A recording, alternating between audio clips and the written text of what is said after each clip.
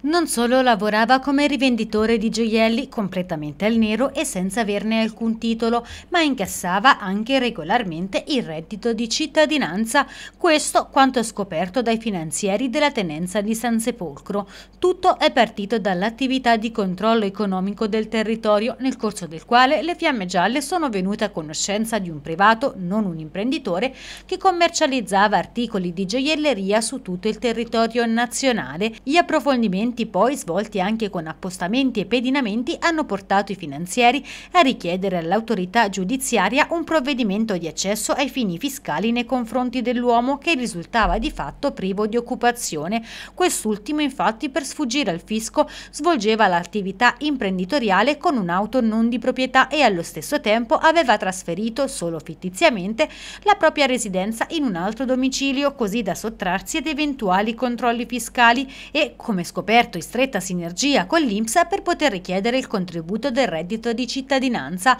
Le fiamme gialle comunque sono riuscite a smascherare queste strategie evasive ed hanno trovato articoli di gioielleria per circa 15 kg, nonché un registro di contabilità e vari manoscritti riferibili all'attività svolta al nero. Il servizio si è così concluso con la segnalazione dell'uomo per aver indebitamente percepito il reddito di cittadinanza per oltre 10.000 euro per gli anni 2019 2019-2020 con la ricostruzione dei redditi non dichiarati per circa 150.000 euro e con la denuncia all'autorità giudiziaria per i reati di riciclaggio e ricettazione. L'uomo è stato infine segnalato anche all'Inps per il recupero del beneficio economico sino adesso percepito.